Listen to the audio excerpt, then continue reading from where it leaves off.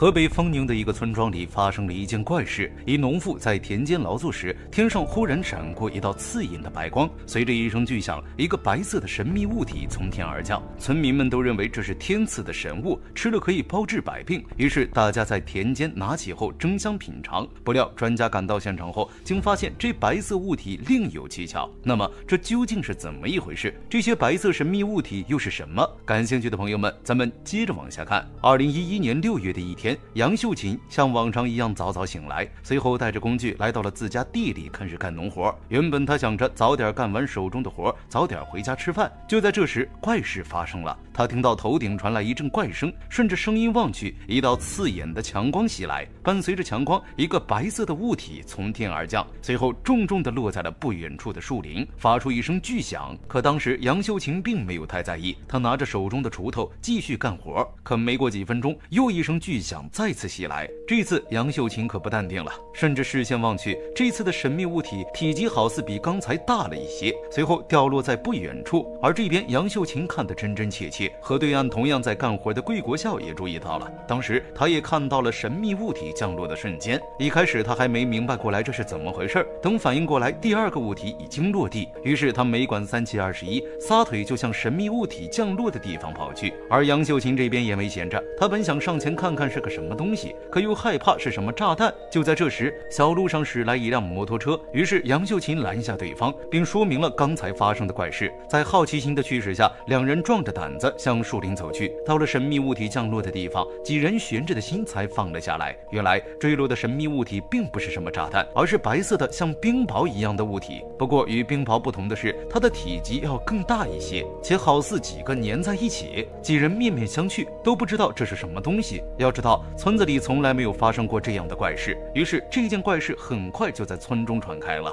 村民们都来围观这个神秘物体。只见这个神秘物体的体积很大，且降落时的冲击力十分大，竟将地面砸出了一个深坑。即便是那个年代有了网络，可人们对这个神秘物体的身份仍然迟疑。神秘白色物体从天而降，村民好奇争相品尝。村长阻止后，找来专家鉴定。这时有人表示，天降异象，说明这东西是天上掉下来的宝贝。吃了之后能包治百病，于是村中有大胆的人率先拿起来试了试，表示这东西竟然是甜的。于是越来越多的村民品尝，但他们的意见不一，有的说是苦的，有的则表示有股土腥味儿。就在大家争论不已的时候，村长及时赶到，并且阻止大家继续品尝。这样来历不明的物体，在没有弄清楚之前，最好不要吃。可村民中仍有人趁乱拿走几块，想要带回家保存。万一是什么值钱的东西，那自己岂不是发？了大财。由于村中发生的怪事太过离奇，这件事也越传越广，甚至各种各样离奇的谣言四起。一时之间，大家人心惶惶。于是，村长很快请来了专家，想尽快搞清这个神秘物体的真实身份。到了现场，专家先给神秘物体拍了张照，随后根据观察，专家联系了当地的气象局。据专业人员表示，当天的天气晴空万里，并不具备冰雹形成的条件。这么大的冰雹也几乎是不可能的。排除了冰雹的。可能性，那么这个神秘物体不是冰雹又会是什么呢？经过专家的观察，众人又有了其他的猜测。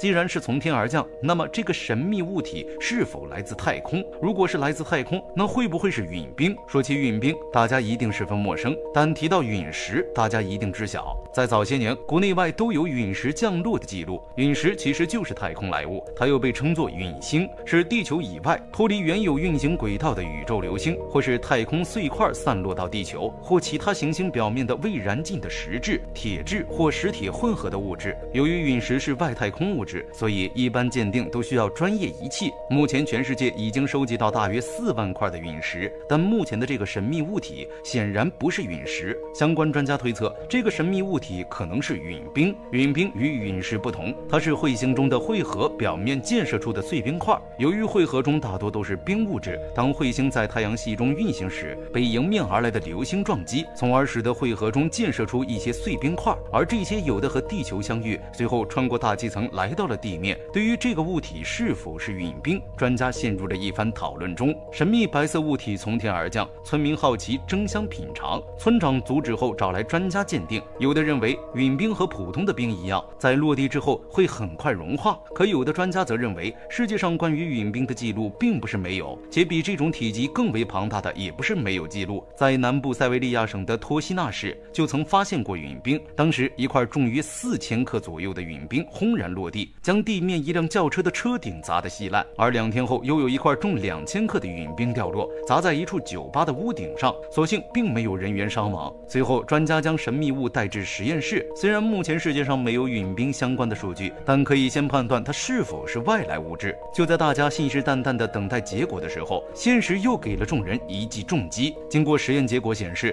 这个神秘物体并非是太空外来物，因为它里面包含的成分和地面上大多数冰的物质相似，所以这个想法也很快被排除。那不是陨冰，它又会是什么呢？这时有人猜测，既然村民当时是听到一声巨响才看到的，那会不会是飞机上掉落的物体呢？经过查询，村庄的上方刚好是飞机航线经过的地方。虽然村民表示当时并没有看到飞机，但并不排除有飞机经过，这很有可能就是从飞机上掉落的排泄物。但很快有人表示，如果是飞机上掉落的排泄物，颜色也不该是白色，因为正常情况下，飞机上的排泄物应该是蓝色的。由于飞机是个相对密闭的空间，如果是正常的排泄物的话，就一定会有异味。于是飞机在储存排泄物时，都会往其中添加一些化学成分，而这些化学物质与人体排泄物混合，就会形成蓝色的物体。专家推测，有可能是在飞机飞行的过程中，装有排泄物的盖子没有弄紧，导致飞机上的排泄物坠落。而由于飞机飞行的高空温度较低，于是结成了冰块。可多数飞机上的排泄物是蓝色，对于这一说法，显然还是存疑的。相信不久后有了更加专业的参考数据，一定能揭开这个神秘物的面纱。